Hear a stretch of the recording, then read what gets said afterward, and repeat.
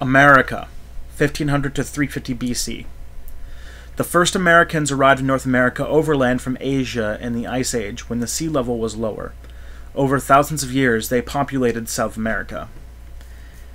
Many early Americans remained hunters, fishers, and food gatherers, but two separate areas new civilizations developed Mesoamerica and Mexico, and Ecuador and Peru. The Olmecs of Mexico. In Mesoamerica, some 9,000 years ago, the Native Americans settled and grew crops of corn, beans, and pumpkins. Small villages sprang up in which the people made pottery and wove cloth. Out of this culture, around 1500 BC, the first American civilization was born. The city dwelling Olmecs built their capital at La Venta in western Mexico.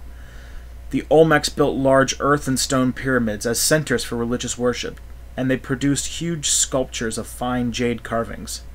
Many of their sculptures mix human and jaguar like features. The Olmecs also had their own kind of writing and sophisticated calendar system. Their neighbors, the Zapotecs and the Maya, also developed advanced city civilizations. Civilization in the Andes. The first fishing and farming villages in South America were in northern Peru around 2800 years ago, a more advanced culture appeared, called the Chavin. The Chavin people made pottery, wove cloth on looms, built in stone, and elaborate carvings. The largest city in their capital was three stories high. Inside was a maze of rooms, corridors, and stairs.